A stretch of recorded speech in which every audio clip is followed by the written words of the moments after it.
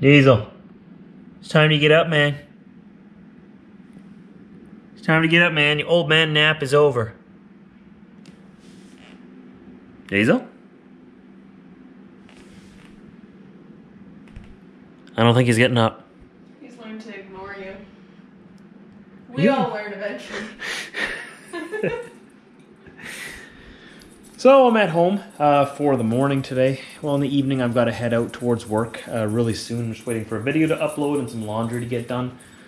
Uh, we've had problems with our roof leaking lately again. I think I showed you that at the end of yesterday's video. So I've been up on the roof today already, shoveling off all the extra snow that has fallen in the past couple of days since the last time I was up there.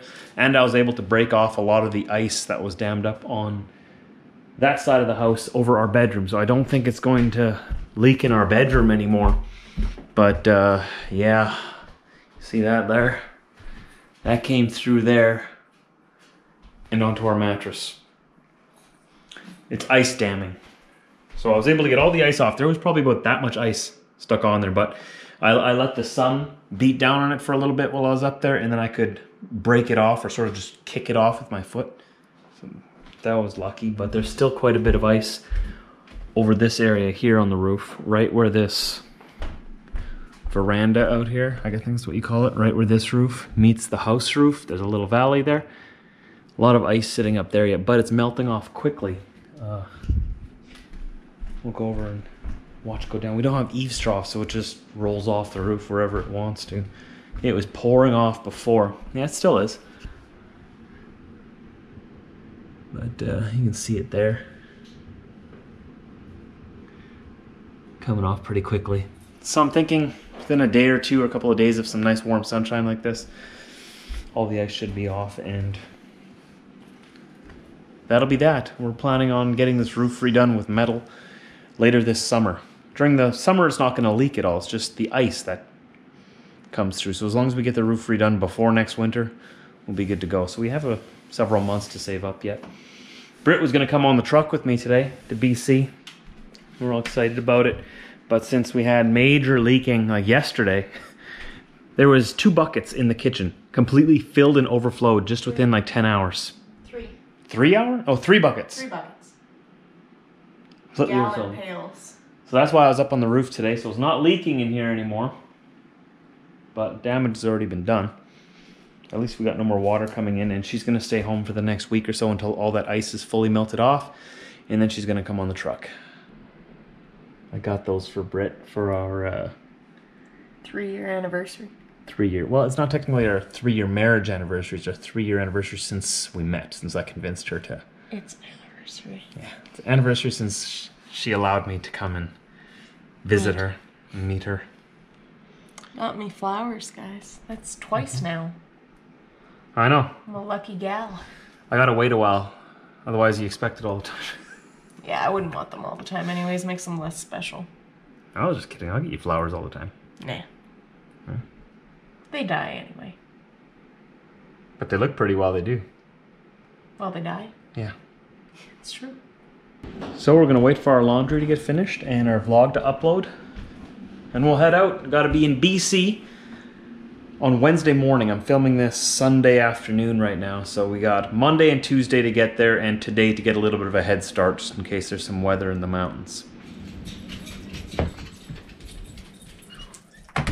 It's actually a really warm day out here.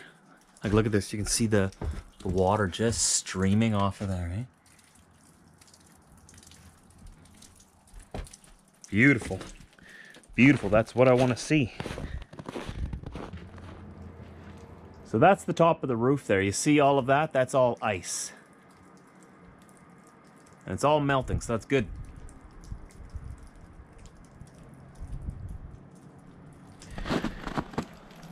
This here is all the ice I broke off the roof. Like, look how thick some of these pieces are, eh? That's what's damming up the water on our roof and causing it to go up under the shingles. Crazy. I pretty much got all of it off on this end of the house, but thanks, eh? That's what the aftermath of ice damming looks like. after you take the ice off. The true aftermath is inside the house and in the attic where all that moisture damage is going to be. We're going to be getting a quote, hopefully this next week, in the next week or two, how much it's going to be to get everything, everything redone.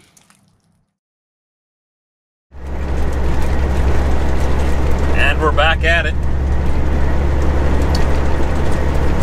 Rolling down the road. It's that season again. All the water is melting, or all the snow is melting, pardon me, turning into water, getting into the cracks of the highway, and then freezing overnight, expanding, a rough travel experience for the users of the highway. We'll just call it that. It's bright out here. Yikes. So I have a pretty good feeling.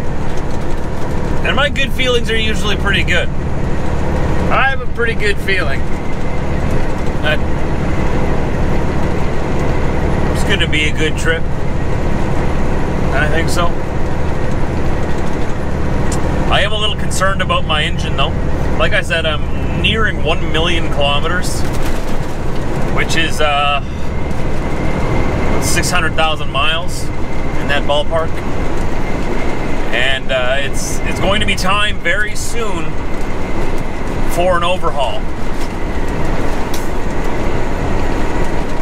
Just the last time I had it in the shop, they're looking for where I was losing oil. The only place I'm losing oil is the blow-by, which means I think I explained this to you already, right? Oil is getting past the piston rings, or uh, there's a chance that it is. And that means the piston rings need to be replaced, and that means the engine needs to be overhauled, which is a big job.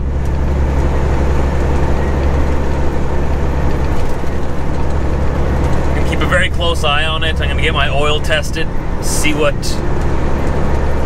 everything looks like inside the engine. You can get the oil tested, and they can tell you uh, how bad the motor is inside. In some ways. But once I do overhaul this truck, though, like I know it's gonna have to happen sooner or later, right? No, nothing lasts forever. I'm gonna have to rebuild this engine. At least then I know it's good for years to come, right?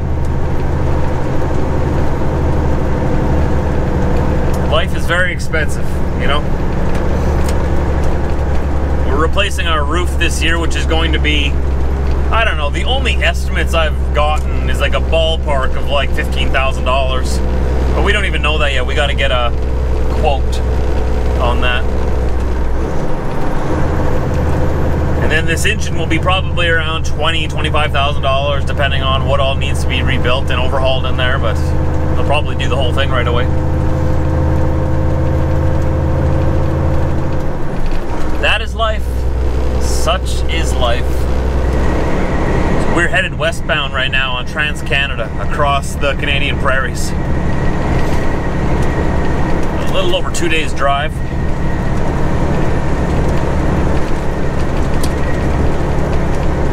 A little bit stressed out about it now, I'll, I'll admit to that. But, you know, we just gotta have faith that everything's gonna work out. We gotta, what's the saying again? Put our nose to the grindstone. Work hard, and eventually there will be a light at the end of the tunnel.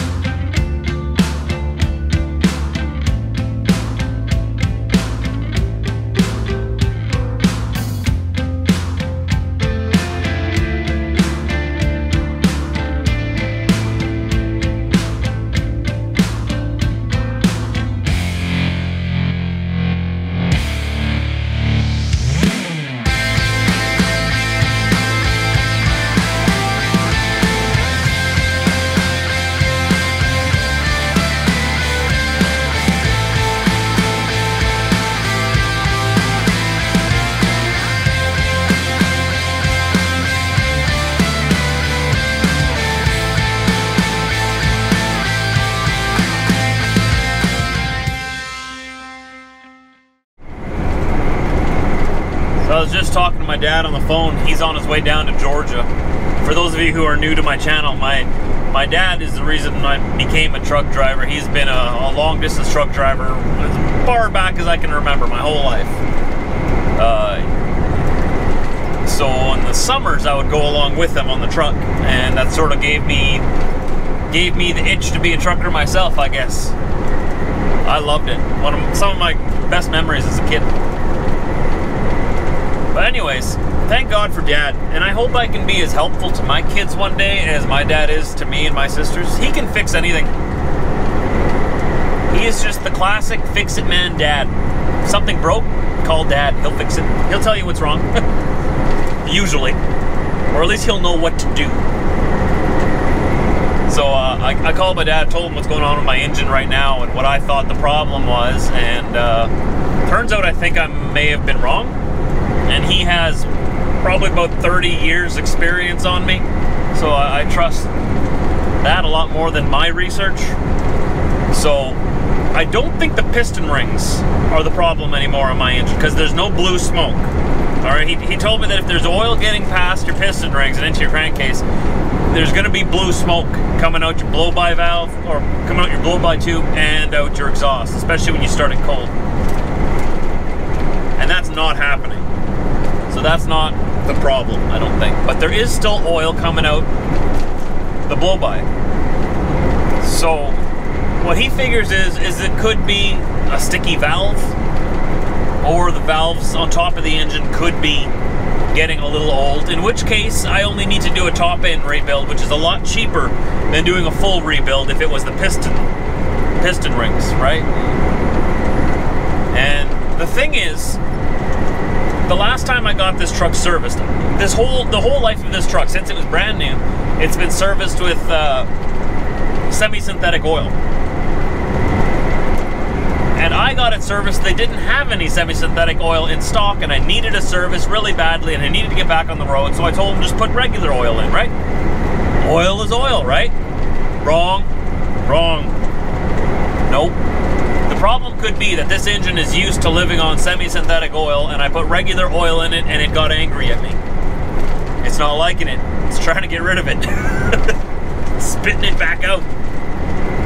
That could be the problem. So what I'm gonna do now is uh, I'm gonna take a gallon of Lucas oil treatment. Is that what it's called? Oil treatment? Lucas? You guys know what I'm talking about, right? The white jug. And uh, if I need to add any oil, I'll add some Lucas in there as well with it. And what that does is it add, acts as sort of like an extra lubricant and sealant inside your engine. It, it just helps the oil do its job better uh, because it's regular oil. That should help. And then the next time I get my truck serviced, I'll go back to semi-synthetic oil with Lucas in there as well. You, you truckers know what I'm talking about when I when I say Lucas, right? And then I'll do that for a couple of oil changes and see if that changes everything. And if that stops the leak on its own, well, there you go. That was the problem. My engine just it likes the good stuff. It's it's spoiled. It likes having the good stuff, and I gave it like McDonald's for a meal, and it it it, it got the squirts. Sorry to use that analogy, uh, uh, I'm hoping that's the only problem. If there is an actual legitimate problem with the valves, and this problem doesn't let up, well, then I'm going to have to take it into the Volvo dealership, uh, the Volvo shop, and they're going to have to open up the engine and take a look. But from the symptoms that my engine is presenting, Dad says that it's most definitely probably not the piston rings themselves, and it's probably just the top end that needs to be looked at. Worst case scenario. So, you know, thank God for Dad and all of the experience he has. He's a very handy guy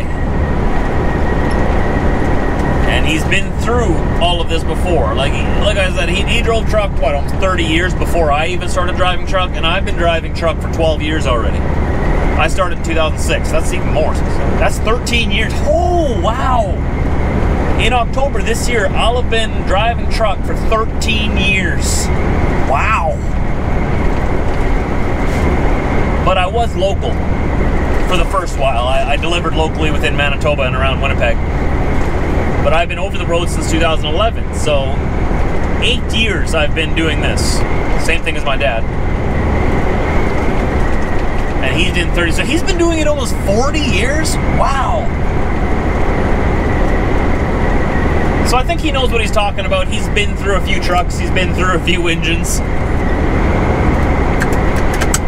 I'm going to take his advice and do what he says he would do. And let's hope and let's pray and let's cross our fingers, whatever you want to do, that the problem is nothing serious. And it doesn't, I should say that it doesn't develop into something, it's not serious right now, that it doesn't develop into something serious. Let's say that. So I have a bit of an advantage having someone I can ask for uh, or ask advice from. And then he just happens to be my dad.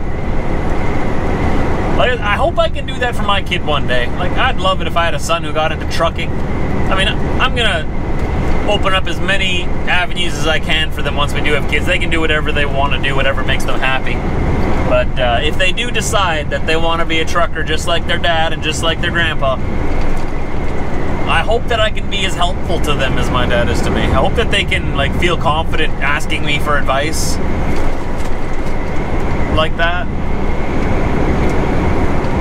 It's pretty cool. Speaking of kids, my buddy Moses and his wife Colleen are expecting their baby any day now. You guys remember Moses? He was a groomsman at my wedding. Uh, they're from uh, Southern Virginia and he's a truck driver as well. Drives a beautiful Kenworth W900. I'm jealous of his truck. But he's at home right now for a few weeks. They're waiting for their baby to arrive. It should be any day now. By the time you watch this, Moses might be a dad already. I don't know how many of you know him, but he's one of my best friends. He's, he's a great guy. He's gonna make such a good dad, and Colleen's gonna make such a good mom. Uh, I'm just so excited for them. I'm a little jealous. I'll admit it, a little jealous. I wish it was us as well, but super excited for them. and wish them all the best. If you guys are watching this, if the baby is here already, I'm sure we've already all been in contact, but exciting. I'm going to end the vlog here now, though. Thanks for watching, everybody. I've got to end this vlog because I've got to start tomorrow's. There, there, there has to be a vlog tomorrow too, and if I don't, and if I just keep talking today, I'll have nothing to talk about tomorrow. Right? So tomorrow we'll be starting here in Saskatchewan, and we're probably going to get to around Calgary, Alberta, headed west. To hit the subscribe button if you like my videos, if you like my ramblings, you like the scenery, for whatever reason, love to have you a part of the crew here. We're trying to get the channel to 100,000 subscribers, and we're almost there. As of recording this, we're less than 11,000 away. It's so exciting. I've been working towards it for so long, and it's exciting to see us getting close. So if you like the videos, chances are your friends and family probably will too. Share it out on your social media, and that's the best way you can help us get to 100,000. Thanks, guys, and I'll see you tomorrow.